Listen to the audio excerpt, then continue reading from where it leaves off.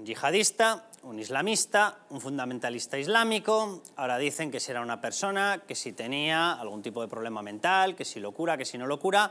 Lo que está claro es que mató porque consideraba que todas las personas en una sociedad democrática en la que se tendría que estar eh, no solamente respetando, sino defendiendo los derechos fundamentales, tenía que creer en Alá y además aquellos que fuesen infieles tenían que morir. No son palabras mías, son palabras suyas. Un asesinato de un terrorista en un ataque o atentado terrorista islamista yihadista. Vale, y esta es la traducción de Pedro Sánchez. Quiero trasladar mis más sinceras condolencias a los familiares del sacristán fallecido, no asesinado, por lo visto, según Pedro Sánchez, es fallecido. Vamos, básicamente como si en medio de un atentado, en medio de un ataque terrorista, te hubieses caído del andamio. Bueno, pues esta es la traducción que hace Pedro Sánchez. Fallecido en el terrible ataque según él no es atentado, no es atentado terrorista, de Algeciras. Deseo una pronta recuperación a los heridos. Todo nuestro apoyo al trabajo que están llevando a cabo las fuerzas y cuerpos de seguridad del Estado, por cierto, a las que les han dicho que no pueden utilizar perfiles eh, religiosos, raciales, etcétera, en las identificaciones, porque dicen que eso es racismo. No, no es racismo, es acotar la búsqueda. Va y resulta que si tú buscas en los defensores de Soria, buscas un yihadista, encuentras muy pocos. Pero si los buscas entre el colectivo islamista, que normalmente es musulmán, va y resulta que tienes más probabilidades de encontrar. Y como en un Estado de Derecho, porque España no es una dictadura, nunca jamás se le va a hacer nada a nadie, hasta ahí podríamos llegar por el hecho de profesar una religión, sino que lo que se van a hacer es buscar indicios de esa radicalización a través de webs, etcétera, solamente se actúa contra el yihadista, nunca jamás contra nadie por su religión, ¿vale? Pero eso es lo que le están impidiendo hacer a las fuerzas y cuerpos de seguridad de Estado.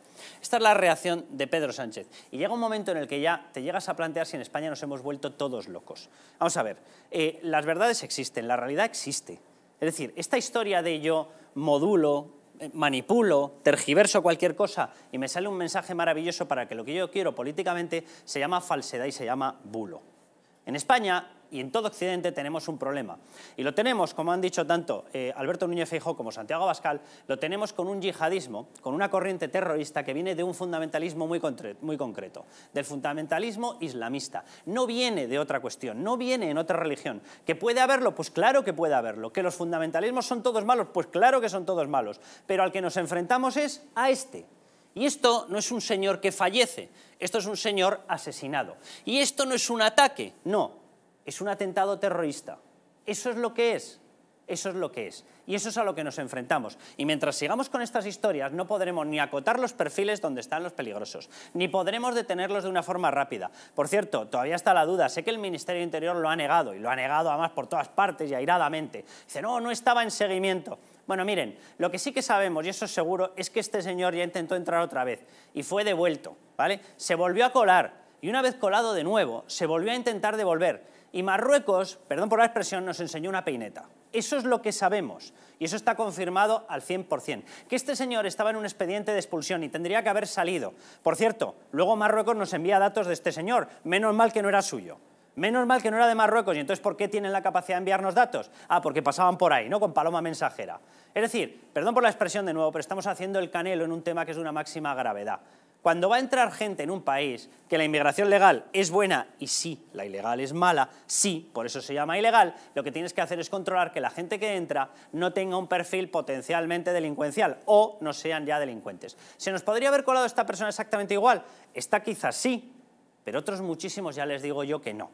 En España se han desmantelado más de mil, mil unidades desde los atentados del 11M unidades islamistas yihadistas. Más de mil. ¿Por qué? Porque se hace un trabajo. Si impedimos a las fuerzas y cuerpos de seguridad del Estado hacer su trabajo, si permitimos una política de puertas abiertas, si no hay control en las fronteras, por cierto, otro dato, en cuatro años Pedro Sánchez ha pagado 320 millones de euros a Marruecos para que ejerza el control de las fronteras que tenemos que hacer nosotros, porque son nuestras fronteras.